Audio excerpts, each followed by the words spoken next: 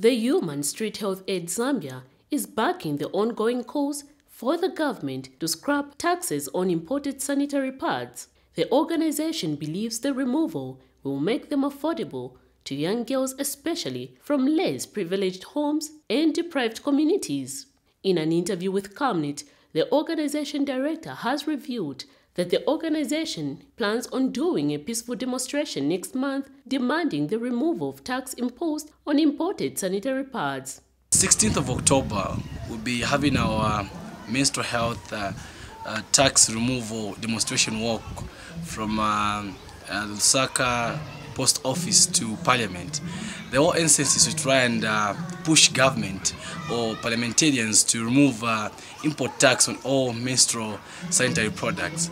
And this is aimed at uh, helping uh, the businessmen who are into menstrual products to ease the burden of uh, bringing the products into the country, which will consequently reduce the prices and uh, make um, sanitary products much more accessible. According to them, the high cost of sanitary pads is making a lot of female use unhygienic materials such as pieces of cloth which lead to infections if not properly sanitized. We believe that uh, this will contribute to the well-being of uh, the general uh, girl child and uh, females in Zambia. Um, a lot of uh, organizations, uh, to mention a few, the Children uh, Future Society Foundation, uh, who are willing to be part of this. And uh, we are also extending this invitation to everyone who feels a stand for the similar cause, so that um, with all concentrated efforts, uh, we believe that it's going to be a much more easier task to, to pressurize the government to actually help us bring sanity for the girl child.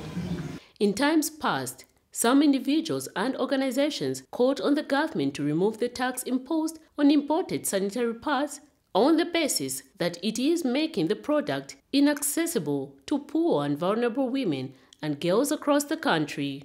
Meanwhile, Zambia and Kenya are two countries in Africa that have made policies to ensure that they provide free sanitary pads to school-going girls as of 2017, while South Africa and Rwanda are two nationals that have accepted to make sanitary pads tax-free.